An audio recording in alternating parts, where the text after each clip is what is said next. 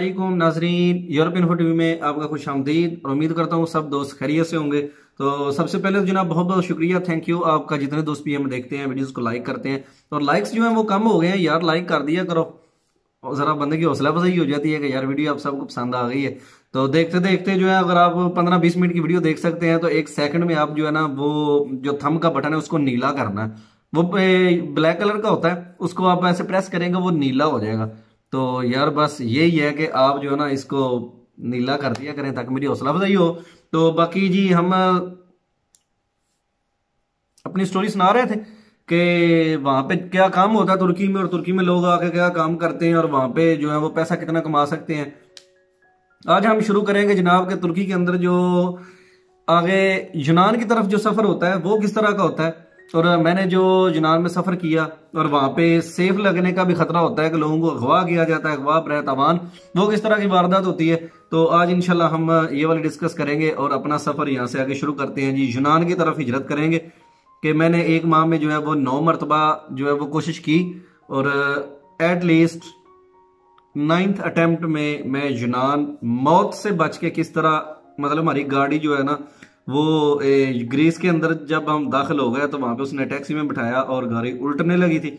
और इतनी खतरनाक किस्म की उल्टने लगी थी कि उसकी पाँच छह कलाबाजियाँ लगनी थी पीछे हमारे पुलिस लगी हुई थी। इनशाला ये वाला सारा प्रोसेस जो है वो अपने तुर्की से यूनान के सफ़र के लिए जो है वो बयान करेंगे। तो चले जी शुरू करते हैं कि मैं पहली गेम किस तरह लगाई और किसके साथ लगाई? चलें जी यहाँ से अभी शुरू करते हैं। तो वहाँ से जनाब मैं अपना अढ़ाई दिन काम किया और मैंने 230 के 40 लीरे जो है वो मेरे बने, मैंने वो लिए। और जनाब मेरे पास अभी एक एस्टिमेटेड मैंने कहा जी इतने हो गए हैं, इतने पैसों से जो है ना वो मैं अपना बैग वगैरह तैयार कर लूँगा।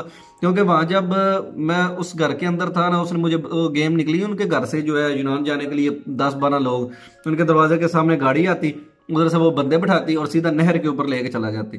तो मैंने उसे पूछा, मैंने कहा कि यार आजकल जो है ना, वो कौन से बॉर्डर जो है ना, ये यूनान वाले अच्छे हैं? तो उन्होंने कहा, जी, पहले बोधरम वाली साइड से जो है ना, वो गेम में जाती थी तो अब सब उधर हमने आपको नहीं भेजना, वो बहुत खतरनाक है, समंदर के अंदर वो सफ़र होता है।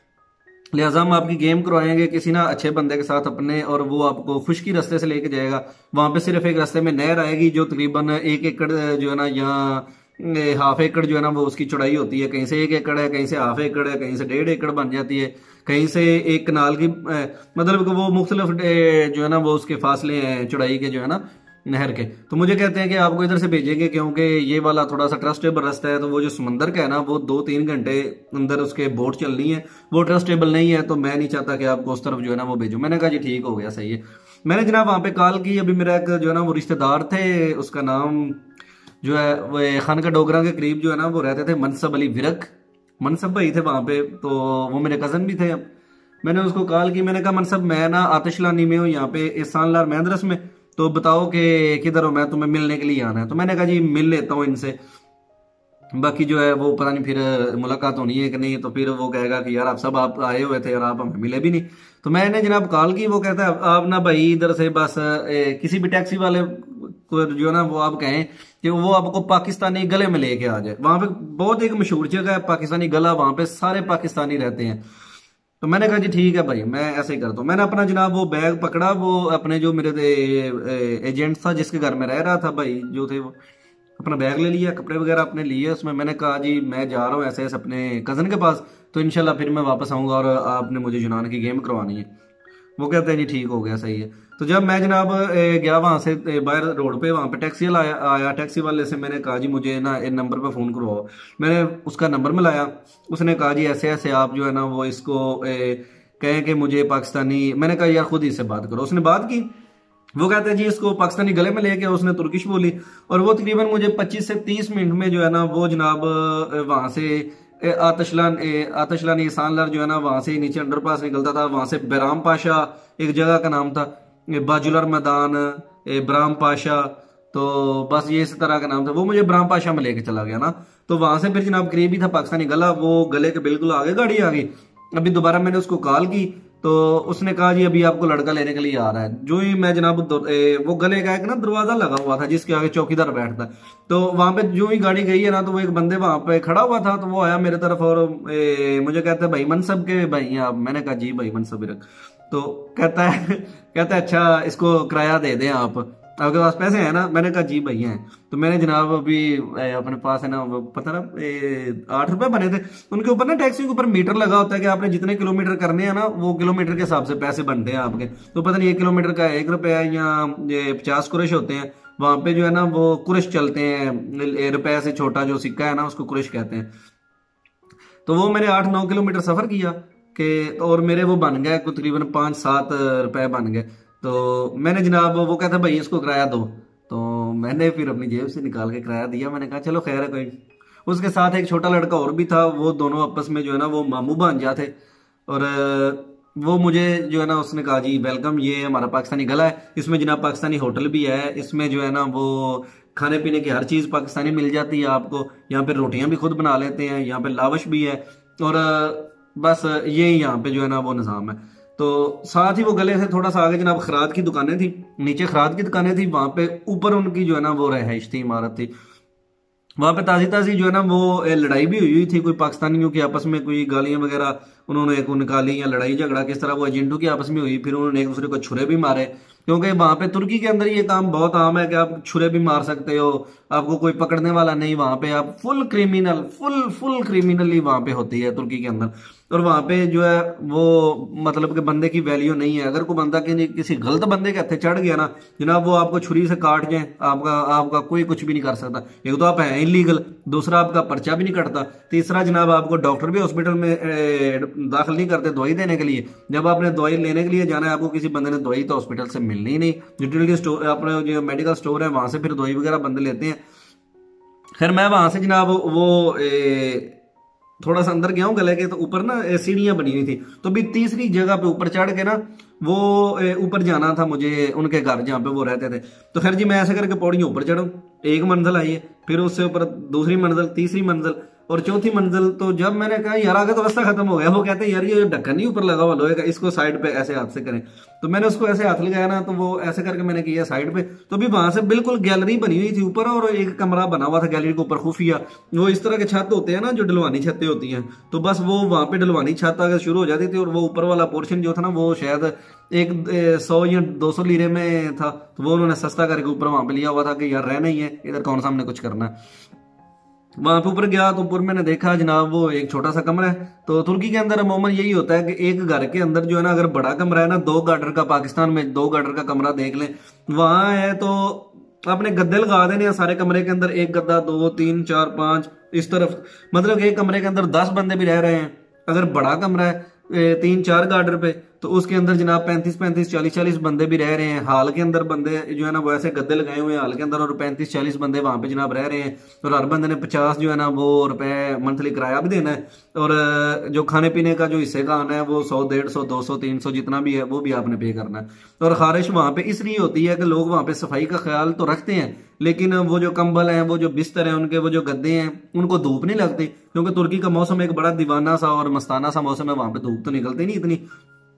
तो बंदा फिर जो है ना वो परेशान हो जाता है और काम पे जाते हैं, काम से आते हैं, नहा के कुछ वो पानी इस तरह का है कि खारिश खारिश होती रहती है वहाँ पे।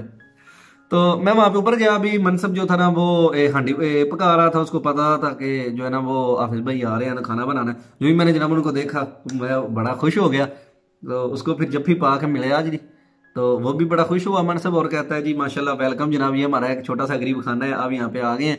तो आपका बहुत शुक्रिया। मैंने कहा, यार, बस, देखो, किस्मत में था। तो आ गया कहता है, यार, वैसे पहले जब आप आए थे और रिपोर्ट हो गया वापस चले गए, मुझे बहुत अफसोस हुआ। मैंने कहा कि अगर इधर करीब होते तो मौलवी साहब को मैं खुद जाके ले आता। लेकिन आपने तब मेरे साथ रबता नहीं किया। मैंने आपको वहाँ पे रहने नहीं देना था। मैंने आपको जनाब, यही कहना था कि आप सड़क से नीचे उतर जाए। मतलब वो बातें सारी। तो मैंने कहा, बस ये कहते हैं, जब मुकद्दर हो तो क्या करेगा पांडु? आगे आपको समझ लगी गई होगी। तो बस ऐसे ही थी जनाब वहाँ पे गप्पे शप्पे उतरी तो मैंने उसको कहा कि, यार, अभी जो है ना, वो आगे की गेम करनी है, यूनान की। मुझे बताओ कि यूनान जो है ना, वो हमने किस तरह जाना? तो वो कहता है, जी, मैंने हाफिज शबाज के साथ बात की हुई है, हाफिज शबाज के साथ गेम करनी है। तो हाफिज शबाज और रियाज लंगा तो ये जनाब इस तरह के ना, वो काफ़ी बड़े बड़े एजेंट है वहाँ पे, जो एजेंट माफिया है ना, वो उधर है तुर्की के अंदर, जो लोगों को बाई शिप भी गेम करवाते हैं और जो जनाब वहाँ पे ये टैक्सी वाली गेम में कराते हैं, गाड़ियों वाली गेम कराते हैं, नहर वाली गेम करवाते हैं, आगे इटली के लिए बंदे रवाना करते हैं, जो वहाँ पे शबाज और रियाज लंगा जो है ना, और भी वहाँ पे बहुत से लोग हैं। तो ये काफ़ी लोगों को वो बाई जो है ना, वो शिप जो तुर्की से शिप की गेमें करवाते हैं, बड़े एजेंट यही हैं। इनके साथ कुछ कुर्दिश हैं और कुछ जनाब तुर्किश हैं। तो ये मिले हुए हैं और शिप खरीदते हैं तो उसको सीधा जो है ना वो लेके चले जाते हैं जनाब तुर्की इटली में, तुर्की से। पहुँच गया पहुँच गया, ना पहुँच गया तो फिर मरते तो हैं ये बंदे वहाँ पे ऐसे ही। तो मैंने कहा, जी, ठीक हो गया, मेरी बात उसने कहा, जी मौल साहब, मैंने जो है ना वो बात की है। उन्होंने कहा, जी, आपकी टैक्सी वाली गेम होगी आपको हम यहाँ से गाड़ी पे लेके जाएँगे और नहर से थोड़ा सा दो तीन जो है ना वो किलोमीटर पीछे उतारेंगे। और फिर वहाँ से नहर क्रॉस करनी है। नहर क्रॉस करके जो है ना वो आगे हमारा डाला आएगा बड़ा ट्राला। तो ट्राले के अंदर आपको डाल के तो वो दो से तीन घंटे में सलोनी की आपको लेके चले जाएँगे। मैंने कहा जी ठीक हो गया चलो। तो मेरे ना एक, एक कज़न थे कारी साहब थे। तो उनके पास ही मैंने हिफज किया और वो माशाल्लाह इधर यूनान में थे ना। तो मैंने उनको कॉल की। मैंने कहा कारी साहब वो मेरे कज़न थे खाला के बेटे भी थे। मैंने कहा कारी साहब मैं ना उधर आ गया हूँ बाऊ के पास मनसब के पास वो कर रहे हैं हाफिज शबाज के साथ गेम। अभी मुझे बताएँ कि मैंने क्या करना है? तो वो कहता है, यार, अगर वो हाफिज शबाज के साथ कर रहे हैं तो कितने रुपए में वो गेम कर रहे हैं? मैंने कहा, जी, वो बारह सौ रुपए में गेम कर रहे हैं। उन्होंने कहा कि, चलो, ठीक है, मेरे पास ना एक हाजी साहब हैं तो मैं उनको फ़ोन करता हूँ। तो तुमने अभी उनके साथ डन नहीं करना, अगर हाफिज उनको कहोगे, आप हाफिज शबाज के साथ अपनी गेम डन कर लें तो मैं जो है ना, वो आपकी गेम करवा दूँगा। मैंने कहा, जी, ठीक है। तो अभी थोड़ी देर बाद वो, उन्होंने मेरा नंबर एक हाजी साहब को दिया, वो वहाँ पे यूनान ही थे। उन्होंने कहा जी, अस्सलाम वालेकुम। मैंने कहा जी, वालेकुम सलाम। हाफिज साहब हैं। जी, मैं आप साहब। तो मुझे जी करियर से साहब ने आपका नंबर दिया है। तो जनाब, आप कारी साहब के भाई हैं तो हमारे भी भाई हैं। तो आपने हाफिज शबाज के साथ जो है ना, उनके सेव में जाना है। ये जो लड़के आपके साथ जा रहे हैं, मैंने हाफिज शबाज को फ़ोन कर दिया। तो आपको वो टैक्सी वाली गेम करवाएँगे, इनके साथ ही हैं। तो लेकिन आपने किसी बंदे को बताना नहीं। आपने आठ सौ यूरो देना है। आपकी गेम बड़ी सोहनी होगी। जी सुबह अल्लाह जी, माशाल्लाह, बहुत सोहनी गेम होगी आप साहब, उसी टेंशन नहीं लेनी। दूसरे लोगों से ये 1200 1400 भी लेते हैं, लेकिन आप जो है, वो कारी साहब के भाई हैं, हमारे कारी साहब इमाम है, हमारे उस्ताद हैं तो इसलिए हम आपसे पैसे कम जो है ना, वो मैंने को कहा है, मैंने कहा, जी, मेरा बंदा है, अपना मेरा बंदा है, मेरे कारी साहब का भाई है तो लिहाजा मैंने इसके इतने पैसे नहीं देने। तो उनको फिर मैंने 800 यूरो दिया। है तो लिहाजा आपकी बात हो गई है, जनाब, आपने 800 यूरो में आना है आपने किसी को भी नहीं बताना। तो बस उनके साथ आपने आ जाना। सीधे जाए आफिश शबाज की सेव में। तो वहाँ पे आपने मुझे फिर कॉल करनी है किसी भी नंबर से। तो मैं उनको कहूँगा, वो आपको अपनी कस्टडी में ले लेंगे। मैंने कहा, जी, ठीक हो गया। तो आपने बताना है, जी, मैं हाजी साहब का बंदा हूँ, हाजी यूनान वाला। तो उसका नाम पता नहीं क्या था, हाजी जाहिद था या क्या था? तो उन्होंने कहा, जी, मेरा नाम बस उधर लेना मैंने कहा, जी, ठीक है। वहाँ से भी जनाब, खैर, हमने तैयारी वगैरह की तो वो मन से मुझे कहता है, आप सब अपने कपड़े शपड़े तो आपके पास हैं। तो मैंने अभी वो जिस बंदे के पास पहले रह रहा था, उसको मैंने नहीं बताया। वहाँ से जनाब, अभी हमने सामान वगैरह नीचे गए हैं गले के अंदर, और गले में जाके जो है ना, वो हम उतरे हैं। एक पाकिस्तानी दुकान थी, वहाँ पे गए हैं, वहाँ से हमने बिस्किट लिए हैं, जनाब, कुछ जस्ट पावर लिए हैं, बोतलें पानी वाली ली हैं, और बैग में सामान डाला है, और दो से तीन घंटे बाद हम जनाब तैयार हो गए। शाम होने से कुछ देर पहले जो है ना वो हम वहाँ पे जाने के लिए तैयार हैं। और अभी हमारे साथ एक मोइन लड़का था, मोइन। वो भी माशाल्लाह जर्मनी पहुँच गया और ये मनसब था जो, मनसब मेरा कज़न था, ये पाकिस्तान वापस चला गया था। वहाँ पे तुर्की के अंदर इनको जो है ना, वो रैश पे छापा पड़ा। वहाँ पे कुछ बंदे मरे थे, जिस जगह पे ये, जिस रैश में रहते थे ना तो वो फिर सारा पाकिस्तानी गले में जितने भी पाकिस्तानी थे जनाब, उन सबको पुलिस आई, फौज आई। उन्होंने गला उस तरफ़ से बंद किया, उस तरफ़ से बंद किया, इन सबको पकड़ के उन्होंने कैंप में डाला। वो सूर्या के बॉर्डर के पास था, एक आयदन कैंप समंदर के अंदर। तो वहाँ पे छः माह की सजा होनी थी। तो फिर डेढ़ दो माह बाद जो है ना उन्होंने पूछा तो उन्होंने कहा, जी, हमें बस पाकिस्तान भेज दिया, हमने यहाँ पे रहने नहीं। उन्होंने फिर पाकिस्तान भेज दिया तो अभी माशाल्लाह ये पाकिस्तान में है और जो मोइन है, वो बड़ा जलील होने के बाद अब वो जर्मन पहुँच गया। तो खैर, वहाँ से जनाब अभी हम वो उसका जो मामू था मोइन का, उसके पास गए। वो रहता था जहाँ पे वो मस्जिद है ना हज़रत अबू अयूब अंसारी की जो मिज़ार है जहाँ पे, और उनकी जामिया भी है, जामिया अयूब अंसारी। वहाँ पे हम गए तो उधर ही जो है ना, वो हमें बंदे ने कहा हुआ था, जी, यहाँ पे आपने आना है हम आपको इधर से रिसीव कर लेंगे। हमने कहा, जी, ठीक है, हम वहाँ पे चले गए। अभी हम वहाँ पे गाजी जो है ना, वो उस्मान पाशा, पता नहीं उसका नाम है कि, क्या इस तरह के गाजी उस्मान पाशा या क्या है। वो अब हज़रत अबू यूबन सारी के मज़ार के पास गए हैं जनाब, वहाँ पे फिर हमने वो कॉल की उस बंदे को। तो जो मोइन का मामू था, उसकी उनकी उनसे बात थी तो मेरी जो है वो आज साहब से बात थी फिर। तो इनका बारह बारह सौ था, मेरा आठ सौ था। वहाँ से जनाब गाजी यूब सुल्तान का जो मिजाज था और जो मस्जिद थी, यूब जामिया वहाँ पे वो बंदा एक मोटा सा बंदा था जनाब। पता नहीं कासम नाम था, क्या सम था ये नहीं मुझे पता वल्ला क्या था। वो जनाब आया बंदा, वो हमें ना, उसने कहा, जी अपने मोबाइल वगैरह बंद कर दें। तो आपने बस सीधा देखना है, किसी के इधर उधर भी नहीं देखना। वहाँ से उसने हमें दो दो करके ना वो आगे खुद जा रहा है, कहता पीछे पीछे आ जाओ। हमने बैग पहने हुए हैं, क्योंकि वहाँ पे फिर वो मशकूक होते हैं इस तरह, अगर बैग पहने हुए और तीन चार बंदे, एक बंदा लेके जा रहा है, वो ये कहते हैं, ये एजेंट है, एजेंट का बंदा है। तो ये आपको जो है ना वो प्रोटेक्ट करेंगे या पकड़ेंगे, जिस तरह भी है। वहाँ से जनाब जो ही हम चलते जा रहे हैं तो अचानक से उसने जो है ना वो बेल दी है या क्या किया, एक ना छोटा सा दरवाज़ा लगा हुआ था, वो खुल गया और वो खुद आगे निकल गया तो उसने कहा, ओए, इधर बढ़ो। तो हम जनाब उधर बढ़ गए हैं, दरवाजे के अंदर एक घर में चले गए। तो वहाँ पे आगे सीढ़ियाँ थी। तो हमारे साथ ही अगर वो आगे चौक से हो गया फिर वापस आया और वो भी अंदर आ गया। हमें ऊपर लेके चला गया। जब ऊपर जाके हमने देखा, जनाब वो तीन से चार मंजिला वो इमारत थी। वो हफिशबाज की थी। उन्होंने जनाब, वहाँ पे इतने ज़्यादा लोग हैं, वो और ऊपर वाले भी हैं, वहाँ पे इंडियन भी हैं, पंजाबी भी हैं, पठान भी हैं। और जनाब ईरानी भी बैठे हुए हैं वहाँ पे सूरियन भी बैठे हुए हैं अरबी भी हैं जो आगे जाने के लिए जो है ना वो बेताब है कि जी हम जुनान में जाएँगे यूरोप के ख्वाहिशमंद हैं। और वहाँ पे हम भी जाके बैठ गए तो हमसे पहले जो है ना वो कुछ लोग थे पिंडी भट्टियाँ वाली साइड के। और एक जो भाई था वो इधर था ए, था सरगोदे का था। तो हम गए तो वो वहाँ पे जनाब वो आवाजारी कर रहे हैं वो ये हो गया वो हो गया जनाब। हम हमारे साथ अच्छा नहीं किया, वहाँ पे सारे उनके कपड़े फटे हुए और जनाब वो सारा उनका बुरा हाल, उनके बूट वगैरह जो है ना, वो कह रहे हैं कि हमारे पास कुछ भी नहीं, हमें नया लेके दो, हमने फिर गेम लगा देनी है। तो ये कब निकालनी है गेम उन्होंने? तो मैं जब वहाँ पे गया हूँ ना तो मैं बड़ा परेशान, मैं कह रहा हूँ, यार, इन बंदों की इतनी बुरी हालत है बेचारे। कहते हैं, यूनान की डेंगी तो ईजी बड़ी है। लेकिन इधर जो है ना, वो तो ऐसा निज़ाम है कि जिस तरह की इनकी हालत लग रही है, मुझे तो लग रहा है कि पीछे वाली आसान थी, आगे वाली मुश्किल है। वो जनाब उन्होंने फ़ोन किया, जी हमारे अपने एजेंट को कर रहे हैं। हमारे पास सामान कोई नहीं, हमें सामान लेके दें, हमें जनाब मार्केट लेके दो। तो मैं सोच रहा हूँ मार्केट लेके दो क्या? मतलब इन्होंने यहाँ पे मार्केट खरीदनी है, ये बिज़नेस करने आए या क्या? तो फिर मुझे पता लगा कि मार्केट कहते हैं कि जो हमने खाना है ना, रस्ते में डेंकी में तीन चार दिन का सफ़र है तो वो वाला खाने का जो सामान है, उसको मार्केट बोलते हैं, जी मार्केट लेके दें। वो बिस्किट होते हैं, खुबस होते हैं कैचअप होती है, अचार होता है, बोतलें होती हैं, पानी होता है।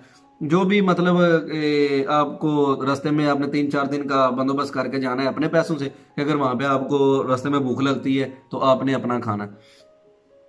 तो अभी मैं वहाँ से जो है ना वो उठा और वॉशरूम के लिए आया तो मैं वॉशरूम ढूंढ रहा था तो मैं जो भी दरवाज़ा खोलता ना तो उसके अंदर जनाब ऐसे लोग बैठे हुए हैं कि जैसे जो है ना वो पता नहीं, भेड़े, भेड़ बकरियाँ जो है ना वो बंद की हुई हैं। बहुत ज़्यादा लोग हैं तो फिर वहाँ पे मैं थोड़ी देर बैठा ना तो मैंने वो एक बंदे के पास जो है ना, मैंने जो सरगोदे वाला था, मैंने कहा, भाई असला वालेकुम तो भाई कितों दे कहता मैं सरगोदे का मैंने कहा, भाई, मैं संभा से तो कहता है, खुश हुआ कहता है, माशाल्लाह जी, बड़ी गल है, आप संभा सरगोदा नाल नाल ही है। मैं कहा हाँ भाई नाल नाल ही है। तो कहता है, मैंने कहा कि यार ये क्या निज़ाम होता है गेम का? ये जो अभी आप लोग जो है ना, वो बड़े, या आपकी हालत ख़राब हुई हुई है तो किस तरह का निज़ाम है? हमारी तो पहली गेम है यार तो आपका जो है ना, वो हाल देख के तो मेरा तो दिल जो है, वो बड़ा आवाजार सा हो रहा है। कहते हैं, यूनान की गेम बड़ी आसान है, यूनान बंदा बड़ी आसानी से पहुँच जाता है। वो कहता है, भाई, आसान किया है, हमारी हालत देख लो, ये वाली जो हमारी हालत है ना, हमें जो है ना, वो पाँच पाँच दफ़ा हमने ट्राई कर ली है तो कल रात को जो है ना, वो हम फिर निकले थे नहर पार की है पार करते ही ना, हमें तो जो है वो यूनान की फौज ने पकड़ा है उन्होंने वहाँ पे हमें मारा है और एक रात जेल में रखा है, वहाँ से फिर उन्होंने अपनी कश्ती पे हमें नहर पार करवाई है। हमने वहाँ से जो है वो एजेंट को फ़ोन मारा है। उसने जो है ना, वो ये जो एजेंट होते हैं ना इनके जो टैंकर होते हैं, जो आगे तुर्की से लेकर जाने वाले, उनके अपने अपने पॉइंट होते हैं और उनको पता है कि पुलिस कहाँ पे डिपोर्ट करती है, कहाँ पे नहीं डिपोर्ट करती। फिर उन्होंने वहाँ, उन्होंने जगह पे मोबाइल छुपाए होते हैं चार्ज करके छुपाए होते हैं पावर बैंक छुपाए होते हैं कि अगर किसी जगह पे भी जो है ना, वो हमें वो छोड़ते हैं ना यूनान वाले तो हम किसी भी जगह अपनी जो है ना, वो मोबाइल वगैरह आके पकड़ लें और वहाँ से कॉल करके पीछे रबता कर लें। तो उनके पास जनाब वो सारे होते हैं मामला वो कहते हैं, हम सड़क पे आए हैं, वहाँ पे जनाब हमने कॉल की अपने एजेंट को, उसने टैक्सियाँ वाले को कॉल की है, बीस मिनट बाद हमारे पास टैक्सी आ गई, हम टैक्सी पकड़ के हम सीधा वापस इस्तेमाल अभी आ गए तो जो बाकी वहाँ पे लोग पकड़े हुए थे, वो अभी तक वहाँ पे बैठे हुए हैं। तो वहाँ पे बारिश बड़ी हो रही थी, हम मर गए थे। तो लेकिन तब बिल्कुल मौसम ऐसा ही था, बारिश वाला था और बड़ा खौफनाक मंजर था। और मुझे जिस तरह वो बता रहा है ना तो मेरे भी जो है ना, वो रोंगटे खड़े हो रहे हैं। अब मैं पूछ रहा हूँ, यार वो नहर किस तरह की होती है? क्या नहर के ऊपर गाड़ी लेके जाती है? तो एक सस्पेंड था मेरे जहन में, एक तजबजब था कि यार वो कैसा होता है, आगे वाला नहरें हमने पाकिस्तान में तो देखी हुई हैं, लेकिन वो तो बड़ा डर लगता है यार नहर क्रॉस करने से बोर्ड में, शिप बोर्ड में किस तरह बैठाते हैं, पार किस तरह करवाते हैं।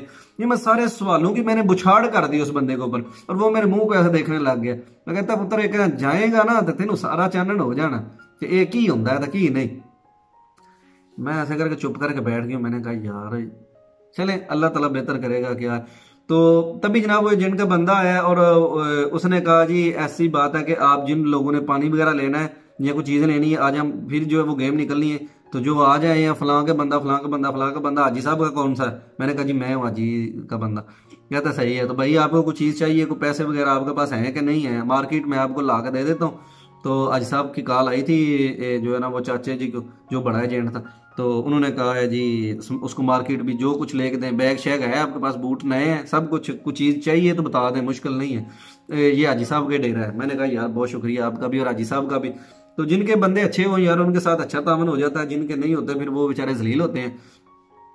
मैंने जनाब वहाँ से फिर जो है ना, वो मैं और मनसब और मोइन, हम नीचे गए। वहाँ पे दुकानें थी, वहाँ से हमने पानी की बोतलें दो दो ली, साथ में हमने बिस्किट लिए और कुछ खाने के लिए जो तलब थी हमने वो भी जो है ना, वो सामान थोड़ा थोड़ा लिया और अपने ला के बैगों में दोबारा डाल लिया। अभी मेरे पास बैग जो था, वो छोटा था और उसके अंदर एक जो है ना, वो मफलर टाइप था और एक चादर थी मेरे पास, वो मैंने ऊपर ली हुई थी और जैकेट फिर वहाँ से आके मैंने जो है ना, वो खरीद ली थी, वहाँ पे एक लाइकी लगी हुई थी बाज़ार, अतवार बाज़ार था तो वहाँ से मुझे दस लीरे की वो मिल गई थी, बड़ी बेहतरीन, अच्छी सी। और उसके साथ फिर मैंने यूनान की टैंकियाँ लगाई हैं दो तीन तो आखिरकार वो जैकेट मुझे यूनान जो है ना, वो नहीं लेके आ सकी, फिर मुझे दो जैकेटें और भी लेनी पड़ी थी, वो आपको इनशाला साथ साथ बताऊँगा। तो वहाँ से जनाब हमने सामान लिया, वापस ऊपर आ गए उसी सेफ़ के अंदर, और वहाँ पे फिर मैंने कुछ लड़के बाहर खड़े हुए थे, मैंने कहा, यार भाई किधर से हैं? एक कहता है, जी, मैं मंडी से हूँ। एक कहता है, भाई, मैं गुजरात से हूँ। तो मैंने कहा, आपको कितनी देर होगी इधर? आप यूनान अभी वो कहते हैं, भाई, हमें जो है ना, वो चार माह हो गए हैं इस घर के अंदर। तो मैंने कहा तो यार, आप जाते नहीं? वो कहते हैं, हमने तो सीधे इटली जाना इटली गेम करनी है, शिप वाली। तो यहाँ से सीधे हमने छह सात दिन पानी के अंदर शिप ने रहना है समुन्द्र के तो हमने वहाँ पे पहुँच जाना है इनशाला इटली, यहाँ से यार जला जलालत है इधर, हमें नहीं, जो है ना, वो हमसे नहीं जाया जाता, इधर बहुत जिल्लत है, हमने इधर जाने नहीं। मैंने कहा, जी, सही है। मैंने कहा, यार, मुझे तो इधर एक दफ़ा मेरे जेर में भी ख्याल आया कि, यार, मैं भी शिप की गेम ना लगा लूँ, इधर से यूनान जाऊँगा, यूनान से खैर, मेरा जो आइडिया था, वो मेरा यूनान रहने तक ही था। मैंने आगे इटली का नहीं सोचा हुआ था कि मैं इटली जाऊँगा या फ्रांस जाऊँगा या स्पेन जाऊँगा। ये मेरे जहन में बिल्कुल नहीं था। मेरा सिर्फ़ एंड था यूनान तक। मैंने कहा, जी, यूनान में रहना वहाँ पे कुछ दो तीन साल जो है ना, वो रह के चस मस मारेंगे और जो किस्मत में हुआ को कमा लेंगे तो वापस आ जाएँगे। वहाँ से जनाब अभी वो बंदे मुझे बता रहे हैं जनाब आपने शिप की गेम करनी है हमें तीन तीन चार चार माह हो गए हैं ऐसे ही वो अभी शिप नहीं निकल रहा एक दो निकले हैं उनको पुलिस ने पकड़ लिया एक शिप डूब गया है तो मैंने कहा यार आपको डर नहीं लगता जो शिप डूब गया तो कहते हैं भाई डर के रहा जो रात कबर के अंदर है वो बाहर नहीं है और जब मरना है वो तो मरना ही है मरना कर रहा है तो अगर हमने मरना है समंदर के अंदर तो हमने वहाँ पे जाके मरना है अगर हमारी मौत नहीं वहाँ पे लिखी हुई तो हम कैसे मर सकते हैं मुसलमान है ये हमारा कीदा है तो उनकी ये बात सुन के तो मुझे भी दिल में जो ना वो एक हलेशरी मिल गई, एक हौसला हो गया। मैंने कहा, यार, इस बंदे की गल सही है कि जो रात कबर के अंदर है, क्योंकि मैंने भी नहर क्रॉस करनी थी और उसी रात ही नहर क्रॉस भी करनी थी, जिस रात जो है वो मैं उधर खड़ा हुआ था उनके पास। और दिल में बड़ा डर था कि ऊपर से जो है ना वो बादल बने हुए हैं, बारिश जो है वो शुरू है और नहर पे जाना है, आगे का सफ़र है। मुझे आइडिया नहीं है कि आगे क्या निज़ाम होना है, कैसे जाना है। वो टैंकर बड़ी तेज़ी से चलाएँगे।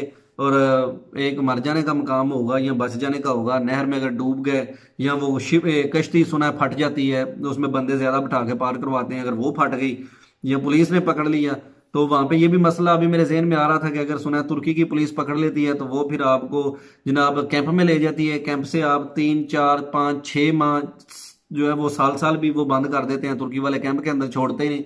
मैंने कहा, ये ना हो गया हम उधर जाए। तो वहाँ से मैं जाने से पहले ही तुर्की से जो है वो पकड़ लें पुलिस वाले। तो मैं तो पहले पुलिस से बड़ा डरा हुआ हूँ इन्होंने मैं पकड़ा तो वापस पाकिस्तान चले गए। मेरा डाटा भी इनके पास है, क्योंकि मैं तो एक दफ़ा पाकिस्तान से हो गया हूँ। मेरे लिए तो खतरा था कि अगर तुर्किश पुलिस मुझे पकड़ती है और मेरे फिंगर होते हैं तो उन्होंने ये कहना था कि ये बंदा एक दफ़ा डिपोर्ट हो गया हुआ है और ये दो तीन माह में फिर वापस आ गया। बस इसी जो है ना वो फ़िक्र के साथ जनाब मैंने वहाँ से कमरे बस्ता जो है ना वो अपनी हमने हिम्मत बांधी और कमरे बस्ता हुए ऊपर चढ़ गए अपने जो कमरा था वहां पे तो उन्होंने जनाब को पंद्रह बीस मिनट बाद वो एक बंदा भेजा वो कहता है जी आ जाए जिन्होंने आज गेम पे जाना है तो हम हमें भी उसने कहा जी जो नए आ जाए या पांच छह वो भी आ जाए तो हम उठ गए और वो जो पहले पकड़ी के आए हुए थे ना वो कहते हैं भाई उन्होंने कहा साढ़े हिम्मत कोई ना असा कोई ना आना ਤੇ ਅਸੀਂ ਆਪੇ ਬਾਅਦ ਚ ਜਿਹੜੀ ਗੇਮ ਕਰ ਲਈ ਸਾਂ ਅਸਾਂ ਨਹੀਂ ਜਾਣਾ आओ साढ़े बावा खड़ियां हैं दोवे मैं कह रहा यार, ये बंदे इतने अक गए हैं तो आगे पता नहीं कितना खतरनाक सफ़र होगा। तो खैर वल्ला आलम, जनाब, ऐसे ही है, वो एक जो ना वहाँ से तो उसने नीचे उतारा, और अभी वहाँ पे जो जगह थी ना, वो काफ़ी खुली थी, हमें वो पंद्रह बीस बंदों को वहाँ पे खड़ा किया उसने, और कहता है, जी, दो दो बंदे होकर जाना है। वो वहाँ पे ना, वो बड़ा सख्त बंदा था जो हमें लेके आया था ना तो उसने वो गालियाँ निकालना शुरू करा थोड़ी भैन की माँ की ऐसी तैसी जे बंदी की आवाज़ आई, मैं इंज कर देंगा वो कर देंगे ਦਿਆਂਗਾ हम चुप कर गए ਤੁਹਾਡੀ ਐਸੀ ਦੀ ਤੈਸੀ ਇੱਥੇ ਵੀ ਗਾਲਾਂ तो वो मन साहब मुझे कहता है साहब टेंशन नहीं लेनी बस सही है तुझे अपना काम काम रखना मन साहब भी मेरे साथ हो गए और एक और लड़का है वो जनाब मोइन के साथ उसने वो दो दो का ग्रुप बन गया तभी वहां से जनाब उन्हें वो कहता है यहाँ से आगे चौक है दरवाजे से निकलना इधर उधर नहीं देखना बस ऐसे निकलो और निकल के सामने बड़ी गाड़ी सफेद खड़ी है तो उसके अंदर जो है ना वो आपने चढ़ जाना है सारे जा रहे हैं मेरी भी बारी आई है मैं भी वहां से बाहर निकला और बाहर निकल के ऐसे देखा है ना तो मैं थोड़ा सा आगे चलो और मैं खड़ा हो गया तो सामने एक चाचा खड़ा हुआ था जो वहाँ पे ना चौक के अंदर पैरा दे रहा था कि देख रहा था। वो मुझे गाली, उसने ना वो गालियाँ निकाली जो पीछे दरवाजे के पास जो लड़के थे ना, वो शायद वहाँ पे खड़े हो गए और मैं थोड़ा सा आगे खड़ा था। आंदा, ओए भैन दो दीने हो। अगर निकलो अगर बड़ो इतने खलो रहे हो। बचो भैन चो वो ऐसे करके गालियाँ बड़ियाँ ना। और मैं और थ्रेड हो रही हूँ कि यार ये सारी गालियों वाली मशीनें हैं। तो वहाँ से जनाब आगे गया देखा तो सामने ना ऐसे चढ़ाई के ऊपर गाड़ी खड़ी थी। वो एक बैंक वाली गाड़ी की तरह थी आगे से कैप्सूल टेवरा टाइप। जब उसके अंदर गया पास गया हूँ तो वो दरवाज़ा खुला हुआ था तो वो ऐसे भी मैंने हाथ रखे ना तो वो जो अंदर एक बंदा था उसने ऐसे मेरा हाथ फाड़ा पकड़ा और ऐसे खींच के मुझे जो है ना वो गाड़ी के अंदर किया। और वो बंगाली था, जो एजेंट था डैंकर था, जो राग मुसाफिर जिसने ले जाने थे, जिसको रास्ते का पता था, वो बंगाली लड़का था। और वो मुझे कहता है, ओए, तू उ बाहर खलो रहे हैं, मामा उत तू मेल आया है तो नहीं पता कि गड्डी के बहना चल, ऊपर आ जाओ इधर। उधर तुम उधर तुम क्या कर रहा था? उधर तुम क्या कर रहा था? चलो, इधर बैठो। तो मैं बस सहम के जनाब, बैग मेरे पास था। तो वो गाड़ी के अंदर बस दीवार के साथ लग के ना, उसके एक तरफ़ मैं खड़ा हो गया तो जब सारे बंदे अंदर आ गए, थर्टी फोर बंदे थे जनाब, वो छोटी सी गाड़ी थी। बिल्कुल वो जिस तरह हम तुर्की दाखिल हुए थे, अब तुर्की से निकलने के लिए भी वही गाड़ी थी और उतने ही बंदे थे। वहाँ से जनाब अभी जब सब बंदे हम बैठ गए ना तो वो जो चाचा था ना पीछे उसने एकदम से आवाज़ लगाई पुलिस, भागो। तो वो जनाब ऐसे एकदम से उसने दरवाज़ा बंद किया जो गाड़ी का, और वो सारे हमें गाड़ी के अंदर छोड़ के जो है ना, वो खुद वहाँ से रफू चक्कर हो गए। अब पुलिस के सायरन बजना शुरू हो गए तो हमने कहा, ले जी, मर गए अब तो यार ये तो निज़ाम ख़राब ही हो जाना फिर पकड़े जाना तो खैर जो उसके बाद फिर हमारे साथ जनाब किस तरह का निज़ाम हुआ? पुलिस ने क्या किया? और फिर हमारा सफ़र आगे नहर की तरफ़ और नहर क्रॉस करने के लिए हम वहाँ बारिश के अंदर जो निज़ाम था इनशाला वो सारा नेक्स्ट एपिसोड में बयान करेंगे। तो बहुत शुक्रिया थैंक यू आप दोस्तों का जिन्होंने वीडियो देखी है। तो इससे आगे फिर शुरू करेंगे। तब तक मुझे दे इजाज़त और जिन्होंने अभी तक चैनल को सब्सक्राइब नहीं किया चैनल को सब्सक्राइब कर लें वीडियो को लाइक करें शेयर करें और बेल आइकन को ज़रूर प्रेस कर दें यार। वो बटन नीला आपने किया इस दफ़ा, जिन्होंने अभी तक नहीं किया प्लीज़ आप भी कर दें। बहुत शुक्रिया। अल्लाह हाफिज़